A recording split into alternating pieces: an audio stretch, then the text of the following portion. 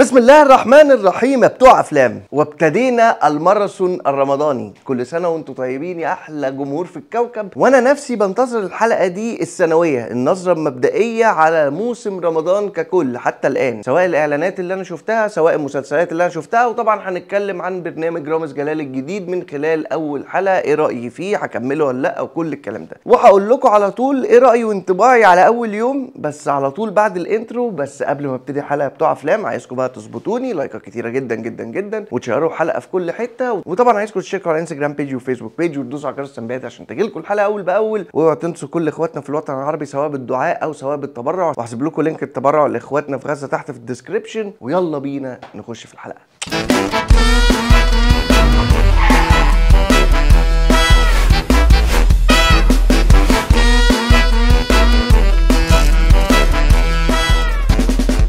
أهلا مسا عليكم. أنا أحمد كمال. بتاع أفلام. آه إيه رأيك يا أبو حميد كأول يوم رمضان؟ يعني نظرة مبدئية. طبعا قبل ما أبتدي الحلقة لازم أقول لكم على حاجة مهمة جدا وهي إيه بقى يا أبو حميد؟ إن طبعا أنتوا عارفين إن الحلقة بتاعت النظرة المبدئية دي لو أنت مشترك جديد هنا في القناة أنا بتكلم عن اللي أنا شفته في أول يوم وانطباع مبدئي. طبعا ممكن على آخر رمضان أو على نص رمضان لما نص أو أغلبية المسلسلات اللي أنا بتكلم عليها أو اللي أنا شفتها امبارح ممكن على آخرها تبقى أحلى جدا من البداية والعكس. تمام؟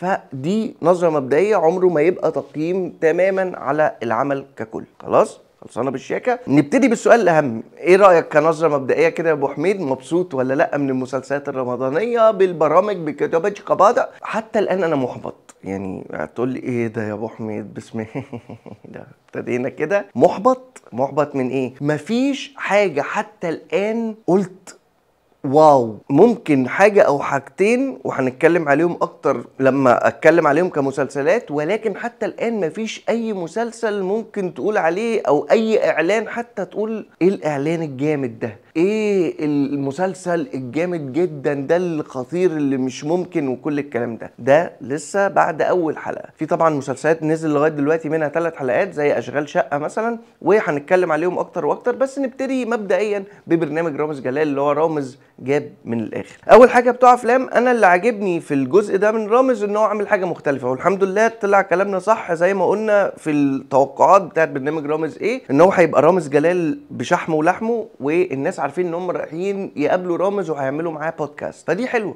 ده تمام. وأنا عجبني جدا البرنامج لحد حتة ما ابتدوا المقالب. ما تقول لي يا أبو حميد طب ليه ما المقالب ده هو ده أساسا أساس البرنامج؟ مش عارف. أنا حسيت في حتة البودكاست لما النجوم عمالين بيتكلموا وبيفتحوا كده وبيفتحوا في الكلام. يعني أنا مثلا المشاهد بتاعت رامز جلال وهو مع أحمد السقا والمشاهد بتاعت رامز جلال وباسم سمرة وهم بيعملوا حوار اللي هو قبل المقلب ده أنا بالنسبة لي دول أكتر لقطتين أنا ضحكت فيهم في البرنامج ككل. هتقول لي في حتة اللي هو باسم سمرة وهو بيجري بيقول له اجري آه وبتاع. ماشي okay. ممكن نشوف من خلال المقالب ردود أفعال أقوى من كده بكتير من نجوم مختلفة خاصة إن بيقولوا ده أكتر برنامج لرامز اتصاب فيه الفنانين. فنانين كتيرة جدا اتكسروا وجالهم إصابات كتيرة. وإمبارح قريت خبر إن الفنانة سمية خشاب هترفع قضية على رامز بسبب إصاباتها الكتير وكل الكلام ده. فأنت فيما بعد ممكن تشوف بقى اللي هو مشاهد أو مقاطع على الفيسبوك اللي هو انظر إصابة مها أحمد.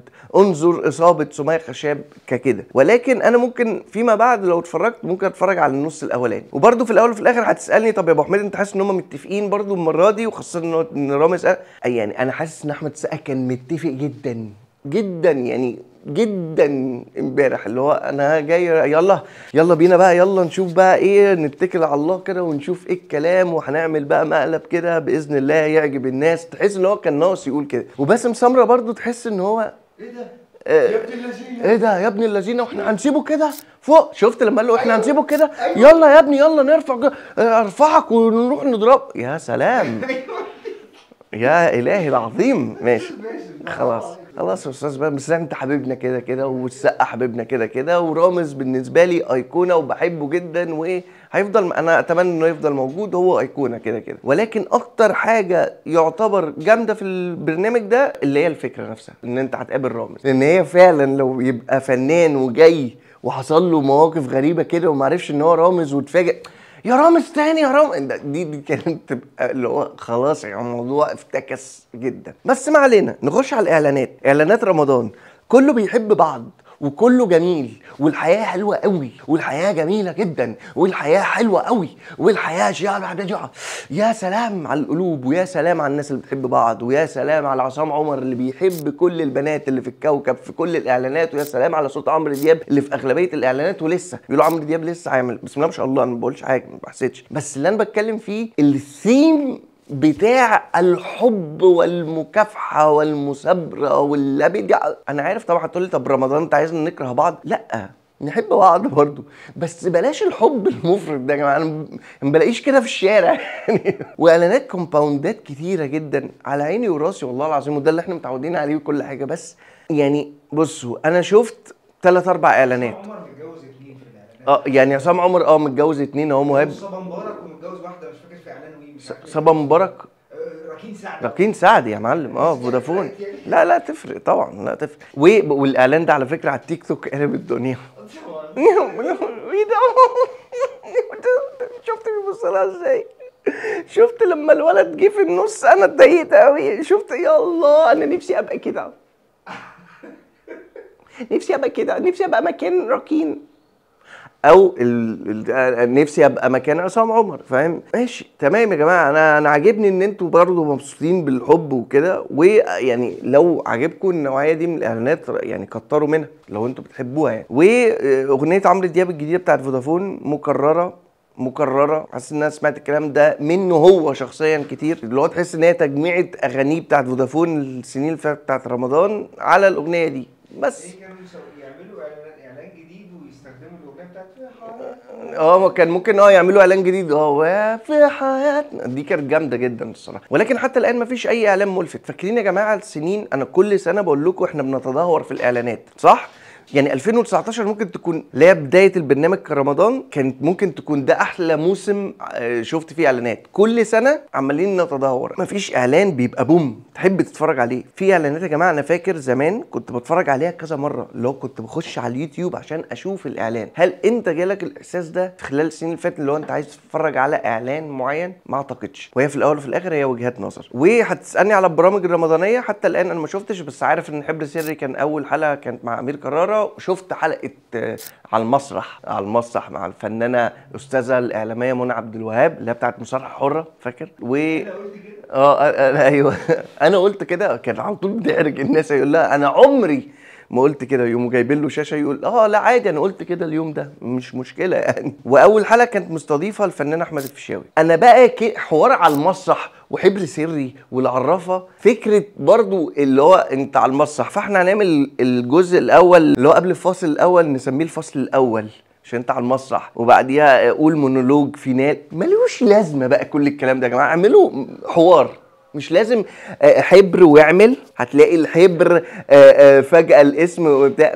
ما تسألي الحوار على طول. يعني أنا ما انبه... أنا كمتفرج ما انبهرتش إن الراجل عمل كده ولا. ممكن أول مرة تقول آه حلو. لكن فيما بعد وفقرة السبورة وفقرة الراجل اللي بيجي ورا ويقوم قايل أسئلة على أساس بقى إن المذيعة مش عارفة السؤال فهم ما كانوش عادين مع بعض. اسأل أنت كسؤال كإعلامية والله العظيم الموضوع بقى أس... أقول لكم على سر سر كبير ومهم حلو. آه، اعملوها زي بودكاست ودي أكتر حاجة دلوقتي ترند في العالم. آه، بلاش الألاعيب وال basket ولف بتاع واعمل البتوع واطلع وطير والكلام ده فاكس يا جماعة. يعني خلوها حوار بأسئلة قوية وانتوا عارفين إن أنا بحب الحاجات دي. ونيجي بقى دلوقتي ونخش على إيه؟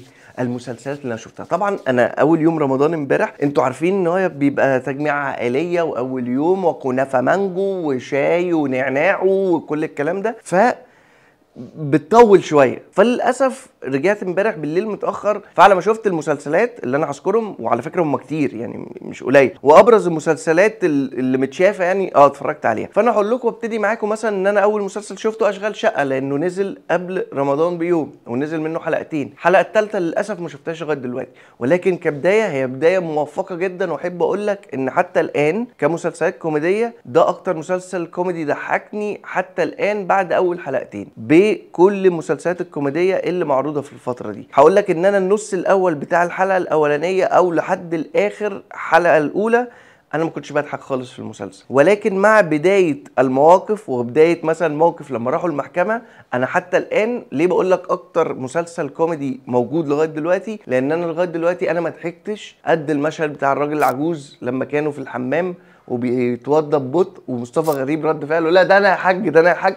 دي أنا المشهد ده أنا ضحكت من قلبي وحتى الآن ما ضحكتش في أي مسلسل بعد أول حلقة أو حلقتين قد أشغال شقة. وحتى الآن أنا واثق كده كده في هشام ماجد تمام؟ وأنا واثق في اختياراته. فأنا عندي إحساس كده ومتأكد إن مسلسل أشغال شقة ده هيبقى ليه قيمة كبيرة جدا لحد ما يخلص في نص رمضان. ولازم أمنشن اتنين مهمين جدا خلال أول حلقتين. مصطفى غريب يا جماعة إضافة كوميدية خطيرة في أي عمل.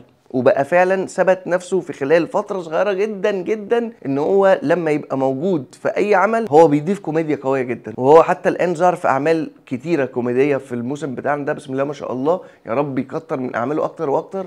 وهو من أكتر الحاجات اللي ضحكتني في المسلسل الصراحة. وأيضا الفنانة الجميلة انتصار اللي كانت قايمة بدور والدة هشام ماجد في مسلسل رجل عناب. أكتر من رائعة وفكرة إنك أنت غالبا كل حلقة بتجيب nanny جديدة وبتعيش معاهم وهنشوف بقى نجوم تقال كتير خلال الفترة الجاية. الفنانة الكبيرة إنعام سالوسة وهكذا. فأنا عجباني الفكرة ككل كبداية كوميدية. نيجي عند مسلسل تاني كوميدي مسلسل بابا جه لأكرم حسني. بعد ما شفت الحلقة الأولى هو مسلسل خفيف هكمله طبعا لحد الآخر. ولكن حتى الآن أنت فهمت البلوتايه يعني أنت. يعني الحلقة الأولى هي مجرد انت بتفهم القصة إيه؟ بتفهم أكرم حسني ده إيه موضوع بابا جه ده أساسا ليه عنوان المسلسل بابا جه؟ في نفس الوقت بتاخد بالك إن العلاقة متوترة جدا في البيت وعلاقته بمراته وعلاقته ببنته ومن أكتر الحاجات الحلوة اللي عجباني في المسلسل ده إن الفنان أوتاكا أخد فرصته إن هو هيبقى الدور التاني على طول مع أكرم حسني. فأنا منتظر منه وأعتقد برضو إن هو هيبقى من أقوى حاجات المسلسل. فإحنا هنشوف خلال الأيام القادمة ونيجي دلوقتي للمسلسل الأبرز والأهم. بالنسبة لناس كتيرة جدا في الوطن العربي واحد من أنجح المسلسلات اللي اتعملت في آخر 10 15 سنة وهو مسلسل الكبير الجزء الثامن بعد نزول أول حلقة ليه. طبعا ناس كتير هتقول لي يا ابني أنت عشان أنت بتحب الكبير فأنت بتقول الكلام ده. أنا بحب الكبير واغلبيتنا وأغلبية الناس اللي بينتقدوا بيحبوا الكبير على فكرة. طبعا أنتوا شفتوا بعد عرض أول حلقة كومنتات سلبية كتير جدا. أنا شفت الكومنتات دي وشفت بوستات ولازم نقولها يا جماعة ونبقى إيه المواضيع دي مش في الخفا المواضيع دي في العلن بنقولها بينا وبين بعض وبنقولها in public كل حاجة. شفنا بوستات كتيرة أحلى حاجة في الحلقة الأولى بتاعت الكبير إن هو خلص. شفنا بوستات اللي هو آه إيه إيه شم النسيم ده. ده واحد اسمه نسيم وشم عارف إن هي إفيهات آه، أطفالي. وناس كتيرة بتقول لك مسلسل أطفالي وكل الكلام ده. بس أنا أنا ما عندي على فكرة ما عنديش اعتراض على أي حاجة. ولكن مع يعني بعد أول حلقة نقول كل الكلام ده يعني أنا أنا ما أقدرش أقول على أي حلقة حتى لو حلقة سيئة جدا وهتلاقي مسلسلات أنا ما عجبتنيش الدخلة بتاعتهم كأول حلقة أو تاني حلقة ولكن عمري ما أقدر أحكم عليه. ممكن في الآخر يبهرني ممكن في الآخر يبقى حاجة حلوة جدا. م... يعني إحنا لسه ما ابتديناش. هو ممكن تكون الدخلة بالنسبة لك عشان أنت عندك bad taste كده من السنة اللي فاتت من الموسم ككل فأنت ممكن اللي هو ها بقى المفروض في أول حلقة أنت تبهرني. أشوف حاجة مختلفة. ولكن ما حصلش. بس هي الحلقة الأولى بالنسبة لي هي فرشة للحلقة الثانية أو للموقف اللي اتعرض فيه الكبير حوار الشمامة وكل الكلام ده. وعارف في ناس كتير تقول لي يا أبو حميد طب ما هو موضوع نفسه بقى مش الكبير. الكبير زمان كان قصته عبارة عن إن هو راجل اكتشف إن هو عنده أخ والاتنين مختلفين تماما وبيتصارعوا ضد بعض وبتشوف اختلاف ثقافات وكل الكلام بس خلاص الدنيا عدت ومرت وكل الكلام ده. أنا أتمنى إن الحلقات القادمة تبقى حلوة. وشفت بوست الفنان حاتم صلاح بيقول إن الموسم ده بالنسبة له واحد من أقوى مواسم المسلسل الكبير. فعارف إن هو واحد من العمل بس برضو نسيب فرصة. نشوف إيه الكلام. بس أنا اللي مضايقني لو انت بتسألني ك fan للكبير انت إيه اللي مضايقك؟ هقول لك فرق ال- ال- ال social media بعد أول يوم للكبير في الجزء السادس لما الناس كلها كانت مبسوطة بعوده أحمد مكي وعودة الكبير وعودة الإفيهات وعودة كل حاجة. والموسم الثامن بعد أول يوم كومنتات سلبية بوستات أغلبيتها سلبية مش هقدر أقول إن كل البوستات وحشة ولكن بوستات قليلة جدا. ودي حاجة مش بقول لك معناها إن يعني طالما بوستات فكك من ال social media في شهر رمضان أساسا. تقول لي يعني إيه افكني من ال social media؟ ما بتفرج عليك يا أبو حميد. مش بقول لك قصدي عليا أو فيديوهات أو كده. بيجات يا جماعة. يا جماعة كل البيجات في رمضان حتى اللي أنت لا بص لا أستثني أحد. تمام؟ لا تثق فيها في رمضان تماما. هتلاقي تظبيطات وحركات وهتلاقي نجم متضايق من نجم فهينزل لجان النجم ده والنجم ده على النجم ده ونخش على ده على الحتة دي وبتاع. كام واحد قرا البوست بتاع محمد رمضان؟ ده إحنا رمضان من غيرك ما بقاش رمضان و... وجعفر عمدة وهو بيقلب شاي. طبعا هتقول لي يا أبو حميد على فكرة أنا محمد رمضان وحشني فعلا في رمضان ده وأنا كنت محتاج مسلسل لمحمد رمضان. هقول لك okay وفي ناس طبعا بتقول رأيها بكل صراحة وبكل امانه ولكن post نفسه محطوط في بيجات كتيرة جدا. وانت لو شفت ال background story لأي page من البيجات دي هتلاقي إن هي بتعمل برضو مع أي فيلم أو أي حاجة على حسب اللي بيدفع يعني. بس ما علينا يعني أنا بقول لكم كنصيحة ما تركزوش مع البيجات كتير قوي في خلال فترة أو شهر رمضان بالذات. ومن المسلسلات اللي أنتوا عارفين إن أنا متحمس لها جدا في الموسم الرمضاني عودة وحش الدراما وأسطورة الدراما الفنان الكبير الأسطورة يحيى الفخراني. بمسلسل عتبات البهجة. هتقول لي إيه رأيك وتقييمك بعد أول حلقة من المسلسل؟ طبعا عمري ما أقدر أقيم أي حاجة بعد المسلسل ما يخلص بس أنا مشدود. مشدود بإيه؟ مشدود بإن يحيى الفخراني وأكتر حاجة بسطاني في المسلسل إن أنا كنت متخوف إن يبقى المسلسل ده زي مثلا مسلسل فالنتينو لعادل إمام اللي هو الأبطال اللي موجودين محيطين حوالين عادل إمام هم اللي هيطلعوا أكتر وعادل إمام بيطلع ممكن مشهد في حلقة أو ممكن ما يطلعش في الحلقة كلها أساسا. أنا اللي مبسوط منه إن يحيى الفخراني كان موجود كتير في الحلقة وده يبين إن هو هيبقى موجود في أغلبية الحلقات برضو ويكفي إنك أنت تتفرج عليه. أنا بالنسبة لي بقى أكتر حاجة بسطاني في رمضان ده إن أنا كل ما الراجل ده بيعمل مشهد كده بتفرج ببص له كده ببقى مبسوط جدا وبستنى كلمة الدنيا دي كلها. مفيش حاجة في الدنيا في الدنيا أنا مستني اللي هو هيقول إمتى الدنيا عشان دي trademark مبسوط بس الحاجة الوحيدة اللي مقلقاني يعني برغم حبي ليه جدا وإن هو عمل حاجات كتيرة جدا حلوة دكتور مدحت العدل. دكتور مدحت العدل بالنسبة لي يا جماعة في الفترة الأخيرة هو outdated يعني ال ال الكلام تحسه فيه دروس قراءة كتير. عارف أنت المجلد الأخراني بتاع درس القراءة اللي هو في الآخر خالص؟ هو بيقول لك القيم المفروض تعملها في الحياة. يجب عليك أن ترتدي ملابس نظيفة. يجب عليك العطف الآخرين والإحترام الكبير والعطف على الصغير. فاكرين الكلام ده؟ أنا حاسه كده. ولكن هكمل المسلسل لحد الآخر. والحاجة برضو اللي مخلياني متحمس إن هي عن رواية. ف هنشوف هنشوف كده كده. وبعد أول حلقة من المسلسل مسار إجباري وأنا قلت لكم إن غالبا ده هيبقى الحصان الأسود بتاع رمضان. هو بعد أول حلقة أنا غالبا برضه هقول عليه إن هو هيبقى الحصان الأسود بتاع رمضان والله أعلم الله أعلم لسه ما أعرفش أي حاجة. خاصة إن أنتوا عارفين إن أنا بحب عصام عمر جدا متخيل إن هو هيبقى هو the next big star في مصر. وأحمد داش عمل عن عمل بيثبت إن هو فعلا بينقي أعمال حلوة جدا. فأنا بعد أول حلقة أنت برضو بتكتشف الشخصيات تعرف كل حاجة. ونهاية الحلقة الأولى بتيجي القنبلة وتيجي المفاجأة اللي بتخليك متحمس إيه هيتعاملوا مع بعض إزاي أو إيه اللي هيحصل خلال الفترة الجاية. وإن في جريمة قتل وغموض وإثارة وتشويق في الحلقة برضه ففي كذا حاجة اتفرشت وكذا حاجة اتفتحت من خلال الحلقة الأولى بس. فدي حاجة كويسة. أما المسلسل اللي فاجئني حتى الآن مسلسل أعلى نسبة مشاهدة من بطولة الفنانة سلمى أبو ضيف وليلى أحمد زاهر. الحاجتين الوحيد اللي أنا ممكن أعقب عليهم على الاثنين دول إن الاثنين دول لما بيتكلموا بطريقة بلدشي بتبان إن هي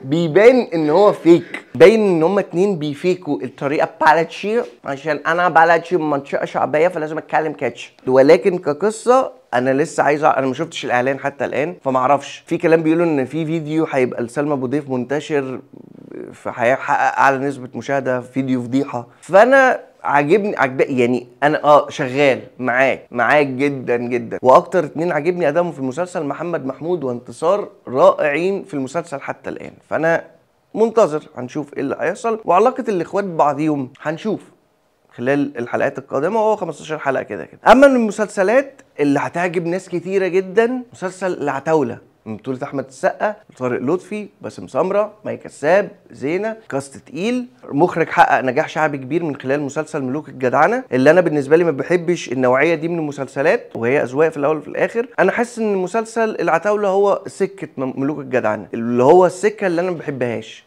اللي هي سكة ناس كتيرة جدا بتحبها. ويعني أنا أنت لو هتسألني إيه أكتر حاجة عجباك بعد أول حلقتين من المسلسل هقول لك الموسيقى التصويرية عجباني بطريقة غير طبيعية. بتاعت ساري هاني اللي هي في الأول خاصة في التتر. أنا عجباني جدا. وهي موجودة في أغلبية المسلسل أو في أغلبية الحلقات. بس أنا يا جماعة بالنسبة لي أنا كواحد أنا ما بحبش النوعية دي من المسلسلات. فكرة الأشباح الكتير وفكرة الموضوع كل حاجة بهرجة و over زيادة. الست اللي في الحارة تبقى قوية جدا زي هدى الأتربي ماشية في الشارع عادي كده بلبسها ده وال make up الزيادة. وحاجات بقى ساذجة كتير يعني مشهد اغتصاب زينة ده. يا نهار أسود!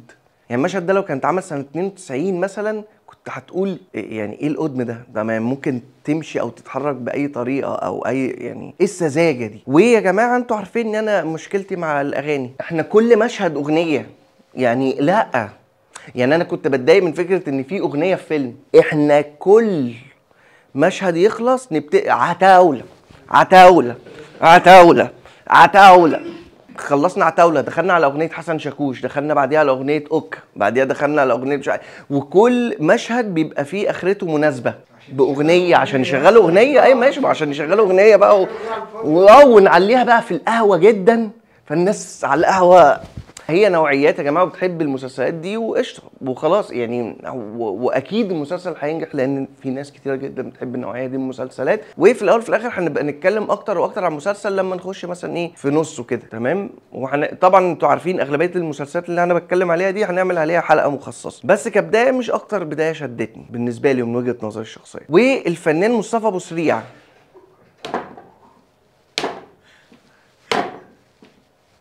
ارحم. آه كان بيقول إيه؟ فلوسي حلال فلوسي حلال فلوسي حلال فلوسي حلال. ده, جهاز أنا باين فاكر. عفش حلال عفش حلال عفش حلال عفش حلال. ربنا يخليك لمصر. ربنا يخليك للعالم. والله. لا عارف بقى أنا إيه اللي بينقطني؟ إن في ناس كتير تكتب لك بوستات. بوستات ده بيضحكني. انت مين يا كابتن يا اللي بيضحكك مصطفى بوستيا ده لا لا معلش لا أنا آسف لا أنا عايز أعرف. يعني أنا أنا إنت- أنا حاسس يالا فيك أنت بوصلة كده بتحب مصطفى الصيح الواد مهاب أقسم بالله يا جدعان أنا بقول لكم أهو. في حتة كده في حتة يقول آه والله. في مسلسل كان عامله مع محمود عبد العزيز. اسمه راس الغول ماشي. مسلسل عامله مع يعني. بس هو عمل مليون عمل. بس هو محمود عبد العزيز اللي كان يعني أقوى منه في الحاجات فكان هو مع محمود عبد العزيز كانوا شغالين كويس يعني. ماشي عشان انت المسلسل بتاع محمود عبد العزيز. مش مش فاكره يا اسطى. لا ما شفتوش الصراحة. وعلى عيني وعلى راسي على فكرة في ناس كتير هتقول لي على فكرة بحب مصطفى على رأيك على عيني وراسي أنا بهزر دلوقتي. عادي جدا مش قصدي. بس أنا بقول لك انطباعي أنا يعني بس ما علينا. والمسلسل يعني فاضل لي كده دلوقتي ثلاث مسلسلات بتوع أفلام. يعني الثلاث مسلسلات دول عجبوني جدا لغاية دلوقتي. ما شفتش الحلقة الثالثه من صلة رحم. صلة رحم من بطولة الفنان إياد نصار اسمه أبو اليزيد يسرا اللوزي. أول حلقة شدتني جدا على آخرتها اللي هو أنا لازم أخش على الحلقة اللي بعديها. دخلت على الحلقة اللي بعديها آه، عجباني جدا وعجباني الكونسبت بس أنا مش فاهمه. فهمتش هيتعمل إزاي أو هي إيه إيه الكلام. فهيبان أكتر من خلال الحلقة الثالثه طبعا اسماء أبو اليزيد هتتورط في الموضوع ده. واللي شاف المسلسل هيفهمني أنا بقول إيه واللي ما شافش المسلسل اتفرج عليه نزل منه ثلاث حلقات حتى الآن وهو suspense ي سريع وعاجبني جدا حتى الآن. أما المسلسل طبعا اللي إحنا كلنا منتظرينه ويعتبر ده أكتر مسلسل بارز في رمضان وبالنسبة لي دول العملين اللي جايين دول بالنسبة لي هم اللي حتى الآن أنا شايفهم ممكن يتقال عليهم wow. من خلال بداية التتر أنا وائل الفشني يا جماعة أي حاجة حطه في أي حاجة أنا بالنسبة لي in ومبسوط جدا وحابب أسمع التتر كل مرة أتفرج على مسلسل حشاشين الصراحة. والدخلة بتاعت المسلسل ودخلة كريم عبد العزيز وهيبة كريم عبد العزيز وكاريزما كريم عبد العزيز وبمناسبة البوستات اللي هي آه، بيجات كتير. هتلاقوا آه، ناس كتير آه، بيجات كتير. كريم عبد العزيز هيبته وكاريزمته أكتر من حسن الصباح. ده هتلاقوها موجودة كتير وكده. ف يا جماعة نهدى شوية نهدى شوية. كريم عبد العزيز أنا بالنسبة لي لم يختبر بعد بعد الحلقة الأولى. فهو كدخلة آه لايق على الدور جدا تمام؟ بس هل اختبرتوا كريم عبد العزيز عمل إيه في الدور؟ لأ. ولسه بدري يا جماعة ده مسلسل 30 حلقة لسه قدامنا كتير.